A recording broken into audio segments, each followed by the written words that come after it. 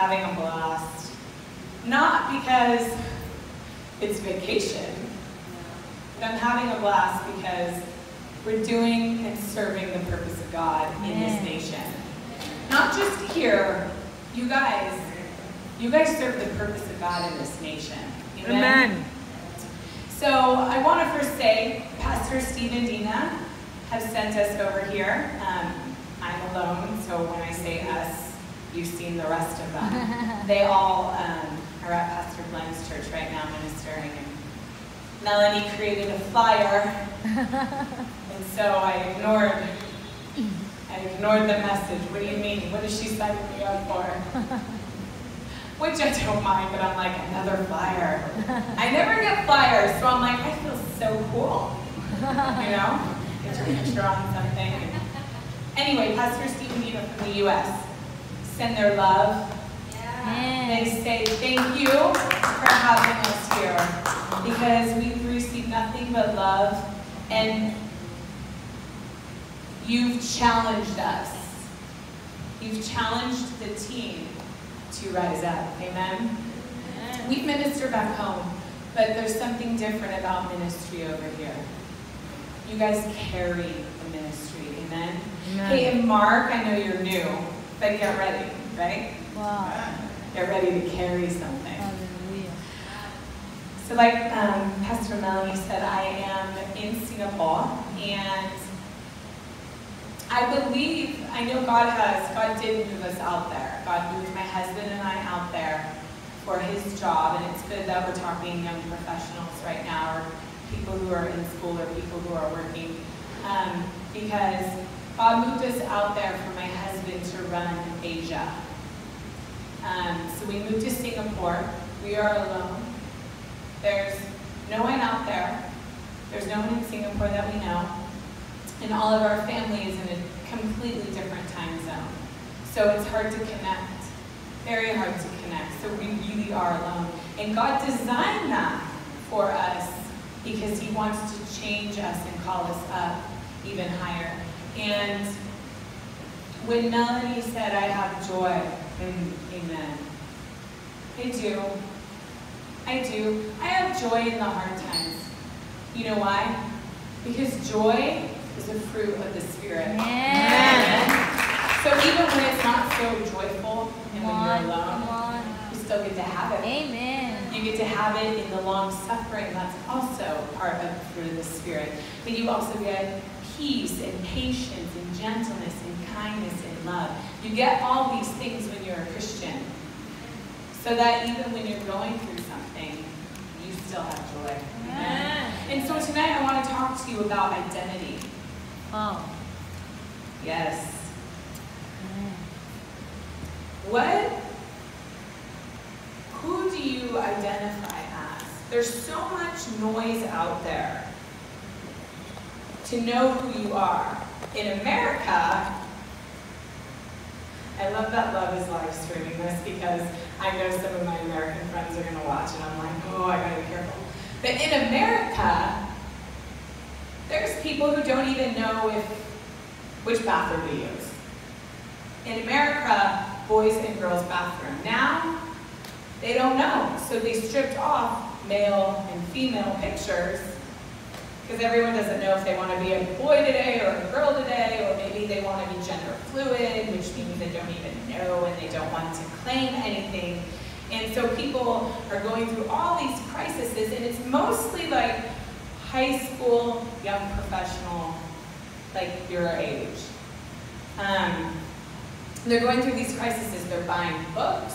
They're going to see psychologists. They're taking medicine. They have no peace. They don't know who they are because they don't have these people who are going through this. They don't have Jesus. So you guys right now are already ahead of the game. Amen? Amen. You have Jesus. Philippians 1.21 says, To live is Christ, to die is gain. Amen. We hear two things in this scripture that Paul says. Once when we receive Christ, we get all that he has for us. We get access to the Father through his blood. We have freedom, rule, and reign. So when he says to live in Christ, we get all those things. But to die is gain. When you realize that Jesus is the only way, all other things in this world don't matter. You're not you're not filling your time like the rest of your friends who don't know him. You don't find hobbies, you're not shopping, you're not, you know, wasting your time outside just walking along the streets just doing nothing. You're not wasting your time. To die is gain. When you die to yourself, you literally gain everything in him. When you die and you receive Christ's identity, you gain everything. Amen. Everything in him. When Gabe and I live, my husband is Gabe. Gabe and I live a lifestyle where we deny ourselves. Jesus says, deny yourself, pick up your cross and follow me. I don't preach prosperity gospel. I'm not preaching that tonight. But I need you to listen to me. Amen. God can do, you're so young. God can do anything with you. Amen. My husband is now a vice president of a company. We're in Asia right now, but he's had the opportunity in America to ring the bell, the opening bell in the stock market, not once, which is already rare in itself, but twice. Wow. He texts me, he goes, oh my goodness, I'm gonna fly in a private jet right now. Mind you, I'm at home, I have three young boys, and I'm like, haven't showered in days, and I'm dying, and I'm like, oh Jesus, get me through this. And he's like, I'm gonna fly in a private jet, and we're doing it. I'm like, really? Um, but God has blessed him in a way, nothing that he's done. God has blessed him in a way because he's denied himself, and in his workplace, he has taken a stance. My husband is an executive in Silicon Valley. In America, that's where all like the tech companies Yeah. are. Amen. Lots of money in that valley. We don't live in Silicon Valley. We live in Sonoma, where my church is, where Pastor Steve, who was once a missionary in the Philippines, met this family, met the Ramos family, and everything that this family has deposited in Pastor Steve, Steve's brought back to America in at Lighthouse Church in Sonoma, and we've picked to stay in Sonoma and be a part of the move of God there and say no to Silicon Valley because that's not where God has us. And it drives the people in Silicon Valley crazy. They can't understand why do you live in Sonoma? So then we get invited to these parties and we go, you know, as a couple, because in Silicon Valley you have to show up, you know, to dinners or whatever. Gabe gets sent on these vacations because God has blessed him to be to have favor in the workplace. And we go and people say, Why are you guys so happy? And we literally say to the lost, We have Jesus, we love him. And they and then they they're all getting drunk, all of them. We don't drink. And these CEOs and these executives are drinking and they can't Gabe, you don't drink. And Gabe's always like, I don't drink, I don't need that, I have Jesus. And he's preaching at these executives in Silicon Valley. We don't we don't force it. We only preach when they ask. And I have had now developed relationships with the wives of these executives and they call me or they pull me aside at these parties and they, they say, tell me how you do it. Why are you so happy? Tell me how to help me how to deal with my kids. I said, well, I'll pray for you. This is what God has done in my life. And then we start sharing testimonies. Amen. I've shared testimonies about this very church to those people in Silicon Valley. Most of them aren't happy. Right? They don't have Jesus. Well, they're all not happy because they don't have Jesus. They don't know what joy is. Right. But Gabe and I, we relate to everyone in our identity in Christ. And so it stops the lost in their tracks. And in that, God has blessed that because we deny ourselves and we deny our flesh. And to live is Christ, to die is gain. And in that, God has raised up Gabe, I believe, it's been prophesied over his life to be a standard in the valley to say, this is what Jesus can do. Amen. You guys need Jesus, and it's given us more opportunities to preach Wow. to these people who have millions of dollars and they're not happy, right? On. So, your testimonies, you guys, in the workplace, you need to start sharing your testimonies. Amen. You need to start speaking and standing on the truth that God has given you. You need to identify Christ, not identify what this world is. Yeah. Amen?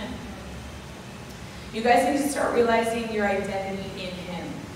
Not just in this church, not I'm a good drummer, not I know how to play the piano. We need that. I'm not saying don't do that. We need that. But when you relate to God and who He is and knowing whose you are, it's a different story. Yeah. Amen. You don't yield to what people say you are. In 1 Samuel 17, Saul wanted to put on his armor to cover David. The world wants to put all their stuff on you.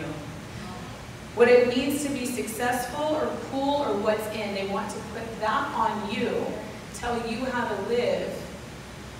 And in that place, it's not going to work. The armor didn't fit David. Saul's armor didn't fit David. It didn't fit. He went out, David went out to face Goliath with what God had prepared for him prior. David, in the secret place, was fighting bears and lions. God prepared him in the secret place. What are you guys doing in your secret place? What are you doing in the secret place so that when it's time for God to publicly display you, Amen. and David goes to meet Goliath publicly. He prepares in the secret, and then he goes to meet the giant publicly. What you do in private prepares you for the public, for the public display of God. God is always wanting to approve the man of God on earth. Amen. So what God prepares you in private is going to approve the man of God on earth. So when you identify with Christ, when you know whose you are, you start living a life in secret in a good way, digging wells, finding the manna, looking for what God has. So when it's time to come forth, you know exactly what to do when you're facing Goliath. And then God approves you, and God lets you be successful, and God lets you be a standard. God wants to qualify His people, He wants to show you off. Amen. God wants to publicly display the man of God in the hour of Goliath. And your generation faces so many obstacles, but it's time for those who are in Christ to take action against these giants. The sons of God are to be revealed. It's time for the sons of God to be revealed. Amen. The Bible says in Romans 8:19, for the earnest expectation of creation eagerly waits for the revealing of sons of God. In this hour that we face right now, the giants in this country are so big. You guys have battles that I don't deal with. They're different, they're big. This world is getting crazier. But I see you guys, and I see God qualifying each and every one of you. God is ready to display his glory in each and every one of you. He wants to reveal this company right here as the sons of God. He wants to move you forward in purpose. Amen. Amen. Who you are in Christ matters. How Jesus sees you and how you see yourself in Him matters. Amen. You guys need to start getting a faith vision of who you are. You need to get a faith vision of who you are in Christ. Again, you're not just the worship leader. You're not just this. Who are you in Him? Every time you feel like you're stuck, you must go back to that faith vision that God has given you. Listen, Paul and Silas were in jail. They were in jail. Their natural circumstance was terrible. It sucked. Sometimes you feel like you're in jail. Sometimes you guys get stuck. Whether it be at work or at school or a family situation or a financial situation, you get stuck. It's designed that way. God designs things. Some of it he he he allows to happen. God doesn't let it happen, allows it because he wants to reveal the sons of God. He wants to reveal what's in you. He allows things to happen. So Paul and Silas, they're in jail. Not only are they in jail, it says that they're in the inner prison. Like there's prison and then there's inner prison. So they're in the inner prison And then it said that their like ankles are shackled, they're tied, they can't move, they can't get out. And as I was reading this when I was studying, it, I just remember the scripture says how beautiful are the feet of the ones who bring the gospel, the good news. And I'm like, look at what the enemy's doing. It's such a picture. He takes their feet, takes their ankles and chains them, and then it's the inner jail. Like the enemy doesn't want Paul and Silas to be in the inner court in the Holy of Holies. He's like, I'm just going to do the exact opposite of what God's call is on their life. Sometimes we feel like we get in that place, oh my goodness, where am I? This feels like the exact opposite of what God Yeah, says yeah. that I have in the Bible. But the reality is it's designed for you to be like Paul and Silas. Amen. And what did they do? They knew whose they were. They knew their identity. They said, I don't care where I am right now. Amen. to worship my Lord. I'm going to seek the King of And we enter his gates with thanksgiving and and they go up the mountain of the Lord inside the shackles of this jail, and then all of a sudden what happens? The walls break. The walls break. There's going to be times in your life where you're in that spot and you're like, whose am I? I'm not in th- this circumstance, it doesn't define me. This circumstance doesn't define me. I need to know. I need to know whose I am. Oh, I remember. I remember what God spoke to me. I remember the vision. You need to get a vision. Without a vision, the people perish. Get a vision of who you are in Christ. So when you're in that spot, you can still cry out and say, Thank you, Amen. Lord. Thank you, Jesus. Amen. And the walls come down. And not only does that happen, because when you know who you are in Christ and you stand in that place. You lead the prisoner, the, the, the jailer, the guy keeping you hostage, to Christ. You lead him to Christ, and then it's not even there. Like it's like a domino effect, because then you like baptize him, and then he's like, uh, "Can you come to my house? I want you to meet my family, and let's get them saved too." So in this story, they're stuck. Paul and Silas are stuck. They know who they are. They're like, "Forget this. These walls don't define me. I know where I'm going." And they go up, and God literally takes where they go in the spiritual, make it become in the natural. Uh, did you hear me? Amen. He takes who they are in the spiritual, Amen. makes it affect the natural, Amen. and then there's fruit from it. Do you want fruit in your life? I'm so excited that Mark's here. I'm sorry I keep picking on you, but seriously, Mark is here. Bring your fruit. Live for Jesus. Amen. And watch God bring people in. Amen. Because God is a God that does bless his people. Not prosperity gospel, but he does though. We've all been blessed. Melanie's over here like, Jesus, I need this for the kids' hope. I need this. And God's like, okay, here, let me send you these people. Let's bless these people. There are many testimonies in this place. Like love, she just got a promotion. right? She gets to run her work. There's testimony after testimony in this place. At Lighthouse, this is the year of testimony. I encourage each and every one of you to start sharing your testimonies and encourage one another. Because in Revelation says we overcome by the blood of the Lamb, the word of our testimony, the word. So um, one of your weapons of overcoming the enemy is sharing what God's Yeah. doing in your Amen. life, no matter how big or how small, and not loving your life even unto the death. Are you ready for that? Amen. But how can I love my life not even unto the death? What does that mean? Um, that means people might kill you. Okay. How do you get to that place in your life where you're ready to put your life on the line for Jesus? Your identity. You need to know whose you are. You need to know whose you are so that when you're in a situation, not saying this is going to happen to any of you, Jesus covered these people. But if you if you're in that situation, Yeah. and some of you may have already been in that situation, you're like, okay, Lord, for you, I do this. I lay down my life just as you did for me. Amen. Amen? That's how you overcome. So when you know whose you are and you act like Paul and Silas, when you feel like you're in this prison cell, you just pray. You praise and you get out of it and there's see fruit. Amen? Amen. Sorry, I went okay. We also know that whose you are changes the loss or tough circumstances in your life. You might even be facing a battle right now where the enemy is lying to you about your future, telling you you don't have one. Listen, 1 Samuel 30, we see total loss. David. Then it happens when David and his men came to Ziklag on the third day, the Amalekites had made a raid and had overthrown Ziklag and burned it with fire. And they took captive the women and all who were in it, both small and great, without killing anyone, and carried them off and went their way. Oops. When David and his men came to the city, behold, it was burned with fire, and their wives and their sons and their daughters had been taken captive.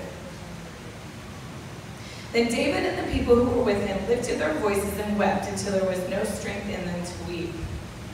Everything was gone, you guys. David was battling, comes back, and literally everything and everyone was gone. Thought you were the king, David. Like, what's going on? Aren't you God's choice? That's where I would go. I love Melanie. Just feel joy. I'm like always the one like, what did I do wrong? Okay, Lord, what did I do to deserve this? Actually, I'm more like, who did this to me? Like, I'm such an Italian, I'm Italian at heart, so it's everyone else did this and I didn't do anything. Like, for a side note testimony, like, I got a DUI years ago, and it was because Pastor Dina prayed it, like, prayed for me to get one because it was scary. I, I don't want to make light of it. It's illegal. I'm not laughing. But she prayed for me to get arrested, and I did. Instead of being like, that was so wrong with me, wow, I'm like, Dina, Pastor Dina, you prayed for this? Like, I'm gonna give you my bill. It's very expensive. I'm like, that's not funny. And I think like I didn't talk to her for a day, but I'm like, okay, no one should be driving drunk. But that was before I was saved and surrendered and my identity. But wow, but that's me. It's her fault, not mine. Um, anyway, sorry, that was a random tangent. I'm so sorry. But God changed my life around, amen. And I'm here, and I'm telling you today, He changed my life because my identity, I don't look at me and I don't look at the past. You actually, you need to, that's part of your identity shift. To live as Christ, to die as gain. When you die, you literally remove yourself. When you claim the blood of Jesus over your life, when you accept Christ, all of your sins are forgiven, washed away, and you're done. So you have to start walking in your new identity, Jesus, and then get that faith vision. So David, he comes back, he's totally bummed, everything's gone, everything's lost, wives, children, food, livestock, everything, burning, everything's burning. David was greatly distressed, right? Because the people, so not only, so the people spoke of stoning him. They were mad, they were going to kill him, right? Then David said, this is verse 7. Then David said to Abiathar the priest, the son of Ahimelech, Please bring me the ephod. So he brought the ephod to David, and David inquired of the Lord.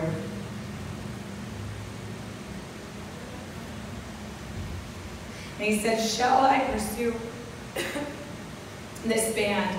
Shall I overtake them? And the Lord says, basically later down, yeah, I'll give them to you. Prior to David going and seeking the Lord, it says in verse 6, Moreover, David was, oh, I'm sorry, I didn't finish that. Moreover, David was greatly distressed because the people spoke of stoning him.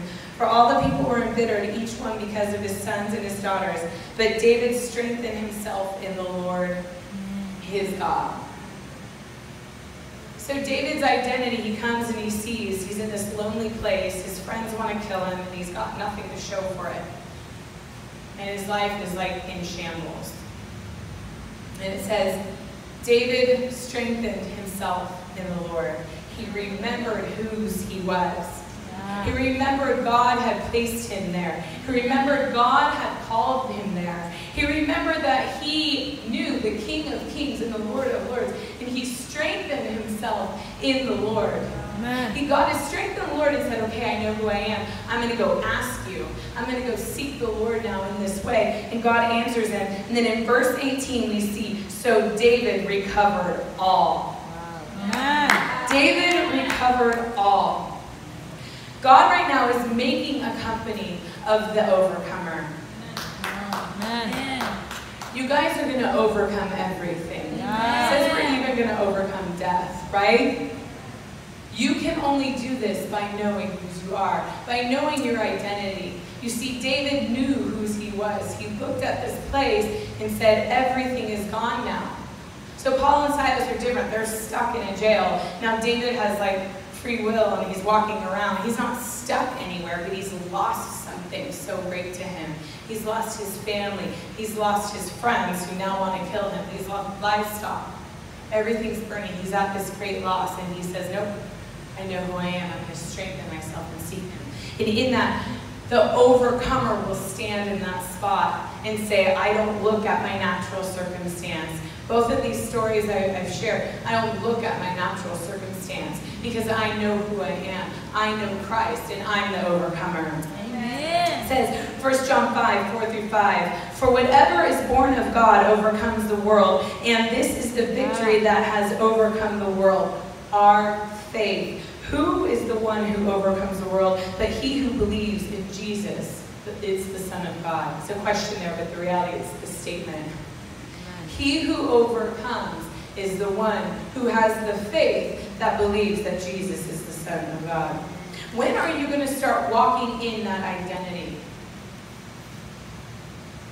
When are you going to start demonstrating the overcomer in the earth? You guys are called to be people who demonstrate the gospel. In Acts, they laid hands, the eyes were open, the deaf ears were open. Amen. They added to the church daily. There's miracles, there's signs, there's wonders. You guys are supposed to go into your workplace. You're supposed to be in your school. You're supposed to be doing whatever you do during the day and start demonstrating the gospel. Jesus wants to show off, and he wants to do it with you, quite frankly. But he can only do it if you know him. He can only do it when you're doing those things in the secret place like David did with the lions and the bears to get the public display of, I'm, um, not only am I going to kill Goliath, but I'm going to do it with a stone. Not only am I going to open the blind eyes, I'm just going to lay hands and just say, Jesus. You guys are supposed to demonstrate the gospel like that. Amen. It's not just in these walls. Yeah. God is calling you up higher. You need to seek the Lord in a new way today Amen. because you are to be the overcomers in the Philippines. You're to be those who seek Jesus in a way where when you're walking on the street, your, your shadow is healing people like Paul. When I go out, when my husband and I go out, we actually get excited to do things like this because we're around people who truly, America, they don't, they're not a Christian nation. There are Christian places and not everyone's really a Christian and everyone's a Christian but doesn't go to church and all this stuff. So when we were together side by side and we're at these events um, with these people, we're like, who can we share Jesus with and how can we do it? And we're looking for it. We don't just like live our lives casually and passively. Ah. It's boring. Yeah. It's boring. Yeah. I shared with these people who have millions of followers why Jesus turned water into wine. Why she's drinking wine. Do you know why? Do you know why? I'm going to share. Something the Lord showed me. This is another side note. It's a freebie. It's not even in my notes. Unless you don't want it. Do you want it? Okay. Yeah. We're sharing with these people, and it was perfect to share at the time because the, the culture that we were in at the time, wining and dining and drinking and alcohol, and drinking is very big, and we don't we don't drink. My husband and I don't drink, so everyone's always asking, why don't you drink? Because Jesus drank wine. I'm like, actually, it doesn't really say that he drank it. And wine is actually fermented grapes, which is death. So there's no death in heaven, and it's heaven on earth. Mm -mm. Jesus didn't drink wine. Listen, wine represents the Holy Spirit. When Jesus turned water into wine, he was prophesying because he tells his mother his mom. She's bothering him. They're running out of wine. And he goes, it's not my time yet. He doesn't even, like, it's not even addressing the fact that they're running out of wine. He's telling them, it's not my time yet. Because the wine is the Holy Spirit. So when he's doing that and he does it, it's prophesying the later. Do not be filled, do not be drunk with wine, but be filled with the Holy Spirit. So the issue is never the wine when people ask me. I'm like, oh, he's just prophesying the promise, which is even, they can't even understand that. It's funny. It's funny. Because people think that they know. Oh, well, Jesus drank wine. I'm like, actually, like, doesn't say it. Um, yeah, there was communion, but it doesn't say or took. He said, I'll drink this again with you in new, which in heaven where there's no death, so I don't think it's wine like it is today. But anyway, you need to know the word like that. You want to be successful at knowing who Jesus is. You want to be successful at sharing the gospel. And I tell you this because you guys aren't going to have basic Christianity. If you're my overcoming company and you're the sons of God to be revealed in the earth, because I see that in you, you need to know the Word of God like that. Last night I was telling the youth kids, we somewhere else, you have to eat the Word. Amen. You need to know the Word. Amen. So that when you're sharing, you have the substance and the anointing behind you so that God's presence drops. Because Amen. we shared that, my husband and I shared that, and they literally were like, I need to walk away. And they weren't being rude. They truly were like, I have to go because I hear what you're saying right now. And now I'm convicted. It was good. Amen? Amen. Get the word inside of you. Know your identity of who you are. So when you share, Amen. you're giving, you're feeding. Amen. You're feeding the people, right? You're eating, they're eating. Amen?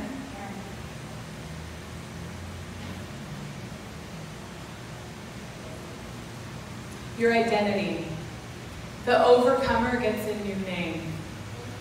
Revelation 3:12 He who overcomes I will make him a pillar in the temple of my God and he shall go out no more and I will write on him the name of my God and the name of the city of my God the new Jerusalem which comes down out of heaven from my God and I will write on him a new name. Your identity right now, who you see yourself in in Christ needs to change. It needs to step up. Your game needs to step up. You're an overcomer. You're going to get a new name. God's going to reveal you as the sons and daughters of God. When He reveals those, He's revealing light to the lost. You need to let your life pour out that identity of who you are. Some of you need to prophesy. Some of you need to start laying hands on people and praying. Some of you need to prophesy and lay hands on people and pray outside of these walls. I do it all the time. Again, I'm bored. Like I truly am bored in life. Like I would rather go walk up to a lost person and just like share the word and prophesy and pray with them. I want that. I'm hungry for that because I know I can have it in Him. Amen. God says I can have anything in Him. Do you know that? Do you know that anything you see the disciples do, go ye into all the world. Do the same thing. Do the Great Commission. Jesus said, greater works. You're to do the greater works. But you can't do that if you don't know who you are in Him. Yeah. You know who you are in Him because you read it, Right. right? But it's not enough just to read. Yeah. Read because it washes your spirit and it feeds you. But find it. Find the chunk. This is me. God, you said this is me. I'm going to prophesy. God, you said I'm going to see things. Father, they saw chariots of fire. Father, I want to see your angels. I want to know what you're doing in the spiritual. That's where your hunger needs to be. I'm going to have you all stand. Hallelujah.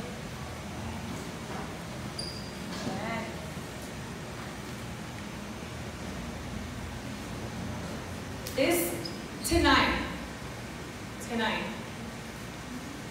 I can't turn this off.